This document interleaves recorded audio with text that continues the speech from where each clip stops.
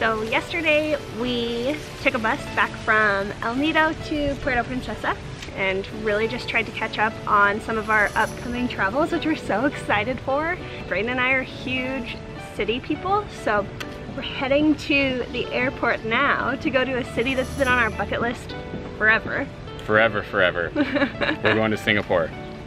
I am so excited to see the buildings, the greenery. It's gonna be hot, it's gonna be sweaty, but it's gonna be beautiful. We've wanted to go forever. We're only gonna go for a couple of days because it's so expensive. Yeah. So another thing is we leave tonight in the late afternoon and because we don't get there until early, early morning at 2 a.m. the next day, we'll stay in the airport, which is supposed to be like the best airport in the world. Thankfully they do have an arrivals lounge, which is amazing. So once we get there, we can take our dirty little stinky selves over there, Yep. hopefully get some coffee, wake ourselves up, and then head into the city whenever. I'm so stoked. We made it.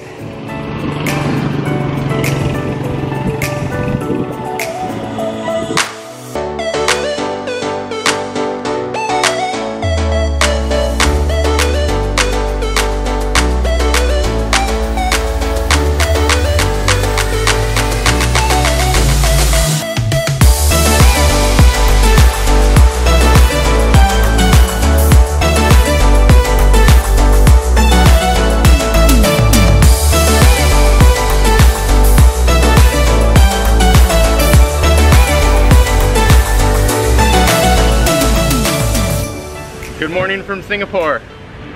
We're both very excited to be here. We're just a little tired. We haven't caught up yet from our flight. But our itinerary here is pretty short. It's not a great budget city, so we're not here very long. So we're just gonna try and get in the good stuff. We are going to go down to the marina to see the famous Marina Bay Sands. Of course, we can't afford to stay in it. Cheapest nights are like almost $400 a night, so we figured we'd travel for another month instead of staying there for one night. Aside from that, we really want to go to the biodomes, which are these huge glass structures that have really cool plants inside. We're gonna just tour the city. We want to check out all the food. We're staying in Little India, which is the quote budget area. It seems cool though. It seems really cool. Yeah. Really colorful, really vibrant. It's just a clean city, really comfortable, really easy to get around. Diverse, which we like. We don't like to stand out. I think we're gonna like this place. Yeah.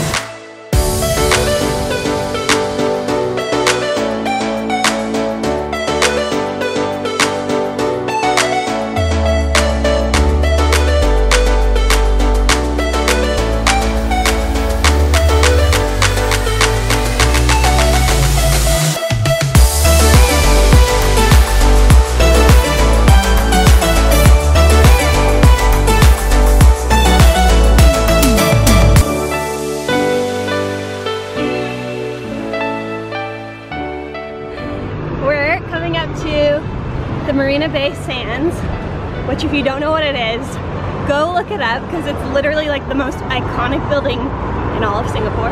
They built this hotel because I guess Singapore was kind of struggling with tourism, so they wanted to build something that would bring people to the city and it worked because you get the coolest infinity view overlooking the pool and the city and I'm explaining it like I've actually been and I haven't. You're too dirt poor. Yeah, I'm pretty poor. That is it. That thing up there is a freaking swimming pool. So we are at Gardens by the Bay with the famous futuristic trees. Let's go check it out. This is probably the most pristine, clean park I've ever seen, and it is free. The only part that's not free, of course, is the place that we're going. We're going in the domes, and I think they're like 28 or so dollars a person, which is kind of rough, but uh, you're only in Singapore once. Gotta do it.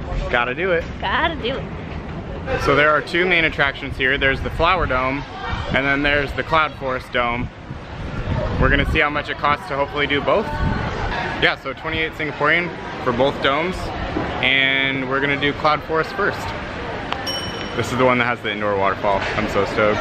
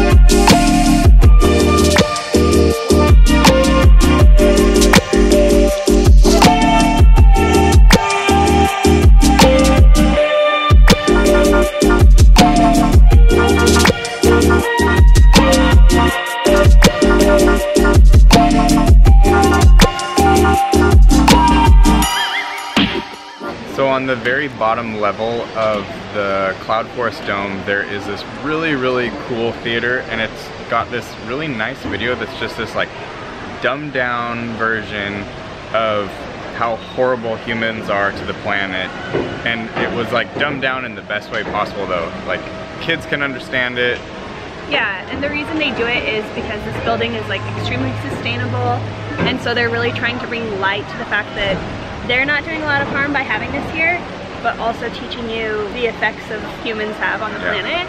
But it walks you through everything like climate change, overexploitation of natural resources, I mean, Animals. animals, literally everything, and it was so educational. And I feel like a lot of people need to watch these videos regularly. Yep. I mean, even ourselves, we we don't have the best practices every day, and unfortunately we know that, but we do our best. Yep. that was important. I like that. Yeah, very cool. Okay, on to the next one. Next one is the Flower dome. Flower Dome.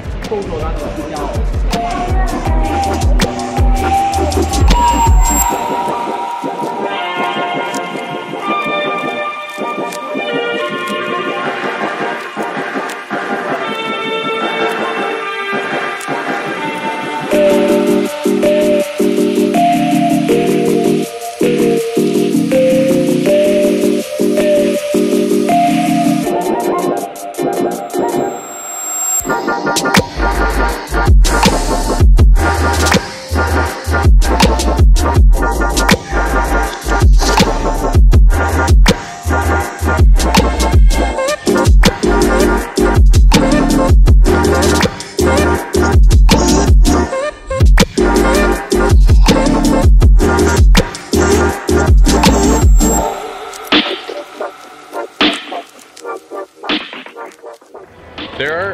good number of plants in here that I have never seen or heard of in my entire life. I guess that's the point of paying for it. Yeah, I guess so.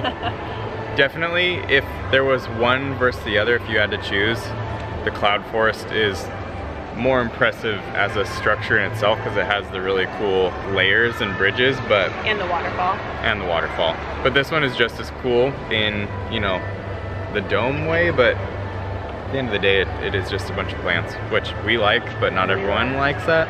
So you have to choose one or the other cloud forest.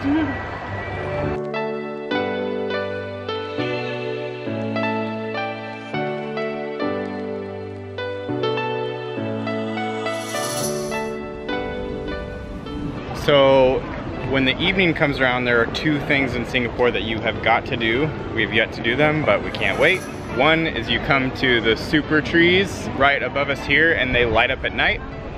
The other thing is you go to the bay in front of Marina Sands. There is a huge water show, which we've seen our fair share of water shows, but I've heard this one's Really good. And much longer than other ones that we've seen. So Singapore gets it.